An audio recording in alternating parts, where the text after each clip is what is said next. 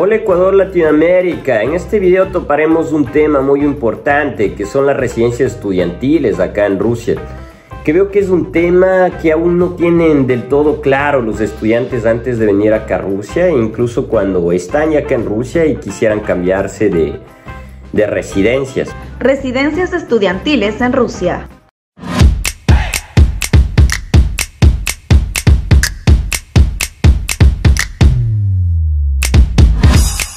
Quisiera aclararte eh, más que todo que las residencias acá son muy distintas. Hay residencias muy muy bonitas, hay universidad, hay residencias en un estado normal y hay residencias muy muy muy feas.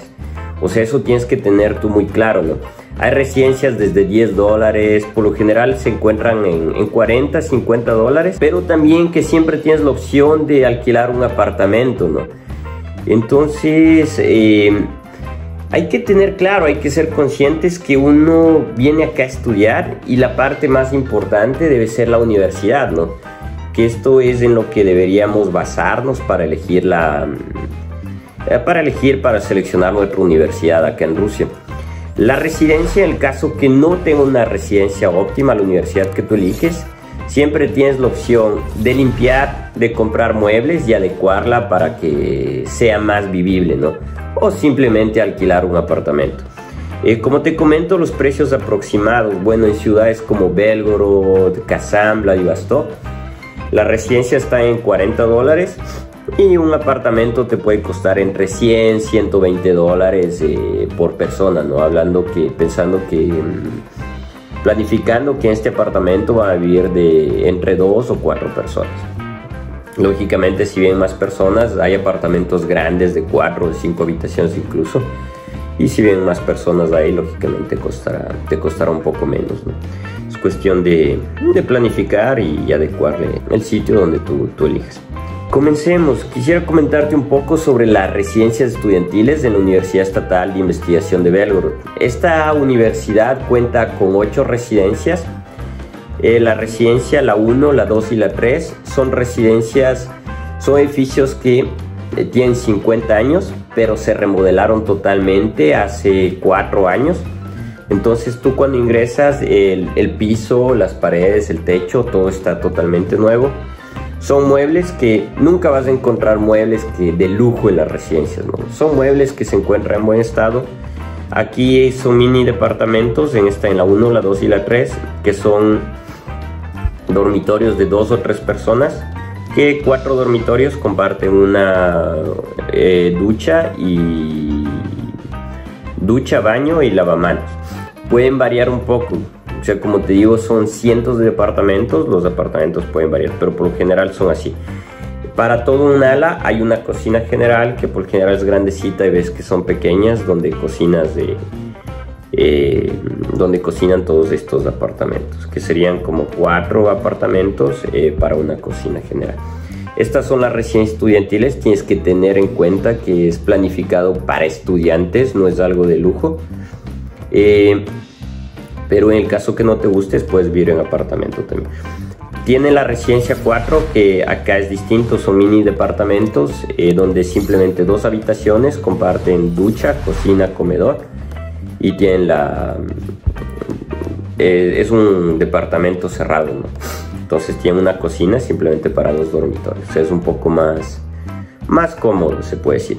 En la residencia 4, la, una de las falencias es que la, mitad está deteriorada, los primeros pisos, pero los pisos de, me parece que del sexto hacia arriba, están ya totalmente remodelados. Entonces son residencias, son departamentos realmente nuevos, ¿no? en la residencia 4, la de la mitad de los pisos 6, 7, 8, 9 y 10.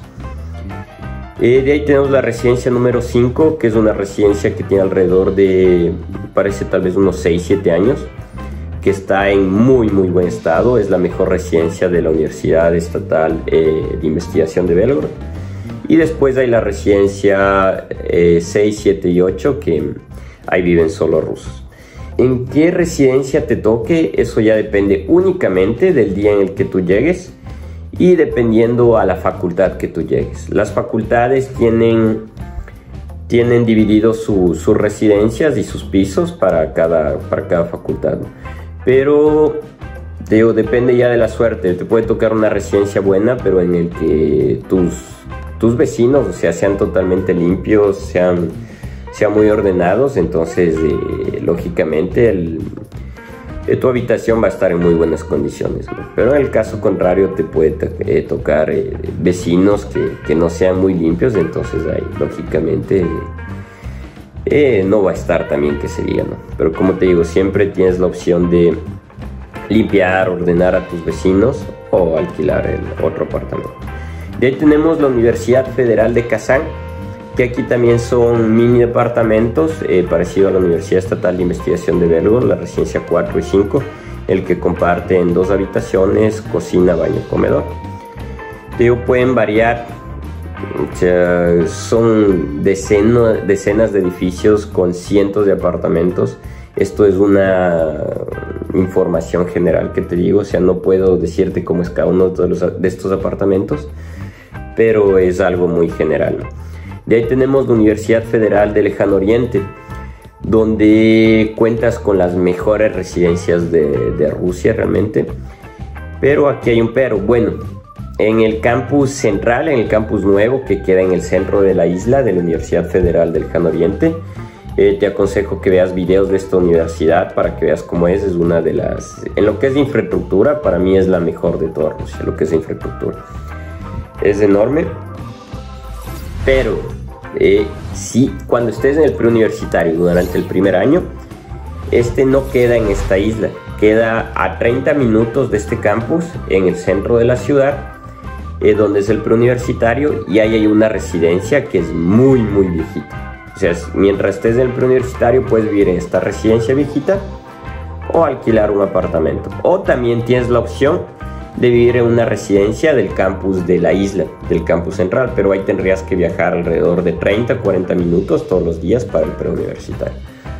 Tiene tres opciones, vivir en la residencia viejita, alquilar un apartamento cerca del preuniversitario o viajar todos los días del, campus de la isla, donde los, las residencias son muy, muy bonitas realmente. O sea, es algo impresionante lo, de la Universidad Federal del Lejano Oriente. Déjanos tus comentarios, haremos nuevos videos y hasta pronto, nos vemos en Rusia. Si deseas estudiar en Rusia, puedes solicitar asesoría gratuita en www.russian-university.com y con gusto te atenderemos. Fórmate como un líder, fórmate con la asesoría de RU. Comenta, dale like, comparte con tus amigos y suscríbete.